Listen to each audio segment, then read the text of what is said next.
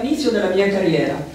E quindi nel 1954 ho debuttato in Italia e nel 1956 mi trovavo in America. Avevo fatto un'audizione con il maestro De Sabata alla Scala che mi aveva chiamato eh, per sentirmi e pensava di, di inserirmi nella stagione 56-57 con la Ida di Verdi, che io felicissima andai in America, era il mio primo tour americano, andrai a San Francisco a cantare tranquillamente la mia Francesca Darini pensando che dovevo debuttare alla Scala con Aida. Invece a San Malo de Sabat cambiò, cambiarono tante cose e improvvisamente mi sentii arrivare, vidi arrivare un telegramma a San Francisco verso la fine della stagione, verso la fine di settembre ottobre, che la Scala non mi offriva più la Ida, ma mi offriva le dialoghe Carmelì. Per me assolutamente sconosciuto. Di Poulenc avevo sentito vagamente parlare, ero anche giovanissima, però siccome non amavo la musica del Novecento, in un primo momento pensai di rifiutare questa cosa. Il sovrintendente del, del, del teatro di San Francisco, Kurt Adler, eh, mi disse ma guarda che questa è una prima mondiale, una cosa importantissima è per il tuo debutto, è per la tua carriera, io mi parlo a lungo, finalmente mi persuasi e dissi di sì. Se non che mi trovai eh, a fare le prove con Margherita Warman che allora era la regista dell'opera, bravissima a suo tempo per le cose che faceva, bravissima eh, ma dopo, che, dopo un periodo di prove, dei dialoghi, dove era sempre presente anche Francis Poulenc, eh, io mi sentii chiamare un giorno dal, dal segretario generale allora Oldani, Luigi Oldani, che mi disse guarda che il compositore e la, e, e la regista trovano che tu non sei adatta alla parte, allora se tu potresti anche rinunciare. Perciò ragazzi che ci siete tutti, non dovete mai scoraggiarvi quando ci sono le difficoltà. Beh, mi ha preso un colpo, eh? e, allora, insomma, non dissi niente, andai a casa, mi mesi a piangere, però non sapevo cosa rispondere perché io di tutti questi inghippi in mm. teatro non sapevo come dovevo procedere. Allora telefonai a un mio amico, al mio amico carissimo allora, a Kurt Adler, a San Francisco. Ho il telefono facile, devo dire. E, e allora telefonai a San Francisco, lo trovai e dissi, io devo rinunciare a questo. Lui mi ha detto, ma neanche per sogno, lei ha un contratto, loro devono rispettare il contratto, le dimostrano perché non è adatta. Perché e mi ha detto, telefoni a Francis Poulenc, il quale Francis Poulenc mi aveva sentito la sera prima in un concerto Martini e Rossi, mi aveva accompagnato a casa, con le lacrime agli occhi, dicendomi che ero la sua interprete ideale, e il giorno dopo aveva cambiato idea, perché Margherita Wallman gli aveva fatto cambiare. Cosa sono le donne? Poi ho trovato anche un piccolo, eh, questo l'ho scoperto proprio ieri, questo programmino, e i programmini erano fatti così. Ecco, un mese di scala, dal 4 gennaio al eh, 4 febbraio, dove è inclusa la prima degli archi delle Carmelitane. E dico il 4 gennaio per spiegare la perfidia di Margherita Valma. Perché io allora non sapevo nulla, non conoscevo nessuno. E eh, quando arrivai c'era il 4 di gennaio la prima della cecchina di Piccini con eh, Gabriella con Graziella Sciutti, Luigi Alba, eccetera, Badioli, eccetera, che erano tutti ragazzi dell'Accademia, tanto per parlare dell'Accademia della Scala. Zeffirelli, sì, con la regia di Zeffirelli. Ecco, si facevano alla piccola scala questi spettacoli settecenteschi meravigliosi.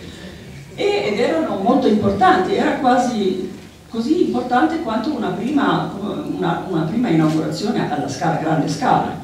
E quindi c'era il fior fior della elite musicale, dei critici anche e fui invitata da Valcarelli, che io non sapevo neanche chi fosse, che era proprio il padrone diciamo, della casa ricordi in quel momento. Dopo anni ho capito che era quello la ragione per la quale la signora Ballman mi aveva protestato, perché la signora Ballman era l'amica di Valcarelli.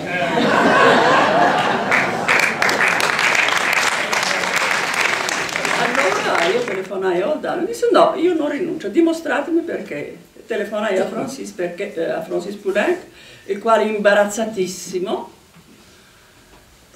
accettò di vedermi, si mise al pianoforte, mi lesse la parte, cantò, e vabbè, non era niente cambiato, solo che la Valman mi faceva fare una regia sbagliata.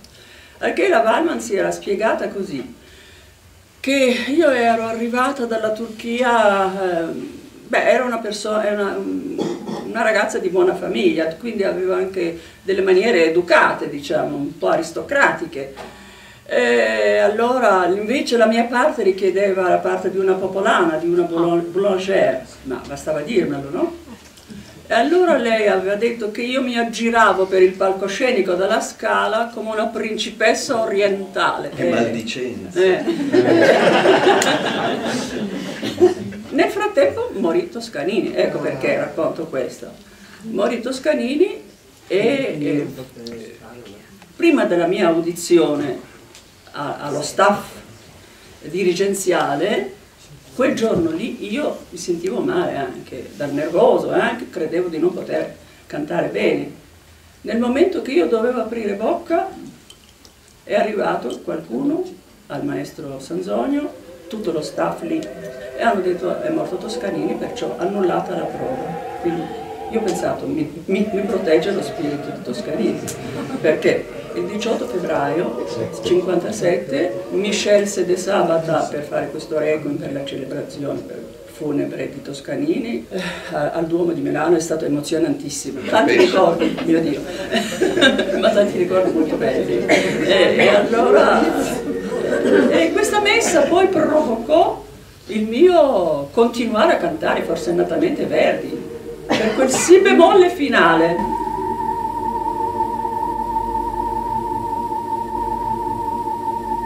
Pianissimo che del sabato mi teneva lungo, lungo, infinito in quel Duomo, lì in quel Duomo era venuta una cosa, pare, bellissima, tanto che mi dissero che la questo me lo raccontò il maestro Gavazzeni, presente alla Callas, che si girò a Gavazzeni e disse, però, era, era una, una, specie di diploma che mi dava la Callas, una specie di benedizione che mi dava la Callas e vinsi la mia causa. Però Poulenc come uomo mi diede questa prima delusione. Credo che in cuor mio non lo perdonai mai. Eh, l'episodio è passato, e tutto è andato bene, è stato un trionfo. Eh, io allora non avevo letto molto le critiche, ma adesso dei documenti ho visto che le critiche non erano poi così, così entusiaste di questa opera, no? non è che, che, sia stata la rivelazione diciamo, di questo grande compositore. Invece il pubblico aveva gradito moltissimo. Forse non la critica, ma il pubblico sì. La critica non capisce mai.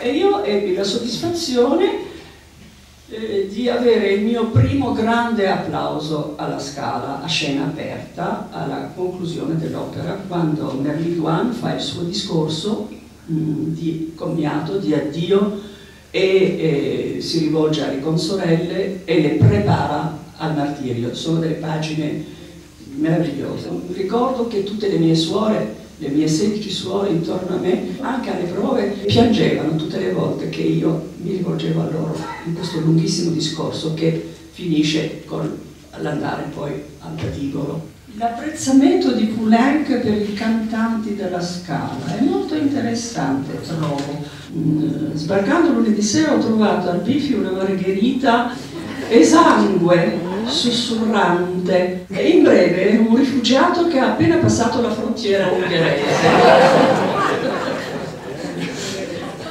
A tutte le mie domande un semplice gemito, è il suo stile o una distribuzione sensazionale. Se le carmelitane fanno fiasco, ne sarò il solo responsabile. Prima priora Pederzini, fantastica. Seconda priora, questo lo volevo dire tanto per mettermi in evidenza. Seconda priora, Genge, molto bella, pare che fossi bella allora. Voce magnifica di tipo Tebaldi, Madre Maria, glaciale a piacere. Costanza inaudita. Eugenia Ratti. Ieri ha pianto provando una scena del trasferimento della morte. Bianca Zeani, meravigliosa, forse un po' borghese. Ma insomma, per, per dire, tutti questi suoi giudizi detti in questo modo così arguto, così fine, così vero, era lui. È stato molto importante per me conoscerlo, come del resto sono stati molto importanti in quel periodo tutte le persone che avevo conosciuto, anche non solo attraverso lui, ma in questa Milano che allora era eh, fervida, effervescente, era una Milano particolarmente intensa, sia artisticamente che che direi di, di, tutti i personaggi che rappresentavano la Milano di allora. Eh, era un periodo molto bello.